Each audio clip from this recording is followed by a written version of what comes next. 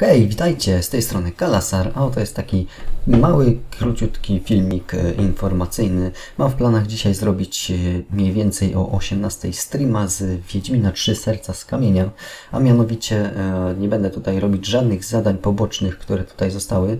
Mianowicie chodzi mi o zwiedzanie zapytajników i takich całkowicie eksploracyjnych e, kwestii, więc tutaj e, też możecie pisać, czy takiego streama ewentualnie robić, czy e, takich zapytajników nie chcecie oglądać, bo jestem w stanie teraz akurat zrobić takiego streama i postanowiłem, że mm, warto tutaj najpierw zapytać, zanim zrobię, więc dawajcie znać w komentarzach, a ja w razie co nie ma problemu ze zrobieniem wtedy takiego oto streama.